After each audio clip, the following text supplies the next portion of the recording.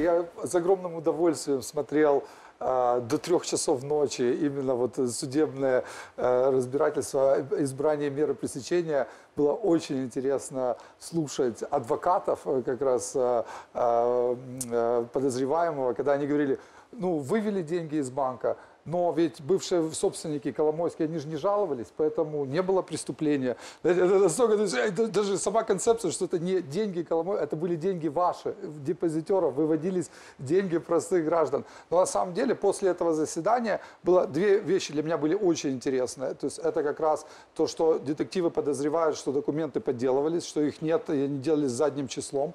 И э, вторая просто то, что это деньги... Даже не подозревают, ну, это в подозрении прописано. Подделка документов там идет протокола Да. тендерного комитета и письма, Да. на котором делается Да, и вот этого письма. И, и второе, что мы все до этого смотрели на кредиты в основном, что выдавались кредиты и не возвращались. А здесь были депозиты связанных лиц, по которым платились безумные проценты. И я специально попросил э, сотрудников банка посмотреть, а были ли подобные другие подобные кредиты. И мы нашли с периода по 14 по 16 год порядка 60 связанных компаний, которым было выплачено где-то порядка 10 миллиардов гривен вот таких излишних э, процентов по Надо депозитам. смотреть тоже решение Нацбанков, потому что вот как раз по этому конкретному эпизоду 16 числа было принято решение, а 13 Нацбанк тогда принял, что Ингострах и Приватбанк связанные лица. Там разница была три дня. Поэтому объективно нужно смотреть точно так же по Да, материалам. и вы знаете, мы- извините, я просто быстро закончу. Действительно, там а, средняя процентная ставка, ну не средняя, самая высокая, средняя где-то порядка 100%,